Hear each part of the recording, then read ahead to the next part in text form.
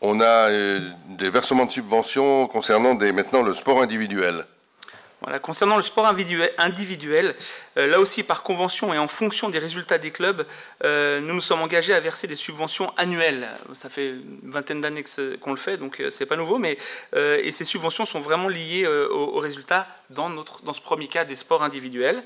cette subvention elle est versée au club et pas à l'athlète, et hum, elle concerne la cible du Salève, la première compagnie de tir à l'arc, le tennis club du Salève et Anma Squatch 74. Ceci étant exposé, vu la délibération du conseil municipal du 18 novembre 2021, il est proposé au conseil municipal de verser 3 000 euros à la cible du Salève dont l'équipe évolue en division nationale 1, 3 000 euros à la première compagnie de tir à l'arc dont l'équipe masculine évolue en division nationale 1, 1000 euros au tennis club du Salève dont l'équipe féminine évolue, en division nationale 3 et 1000 euros à Anma Squash 74 dont les équipes évoluent en division nationale 3.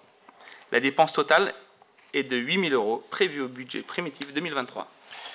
Merci. Hein, euh, tous ces clubs ont de, bons, de très bons résultats, mais euh, on ne souligne peut-être pas assez, parce qu'on parle plus pour les sports collectifs, qu'on a deux clubs là qui sont en National 1.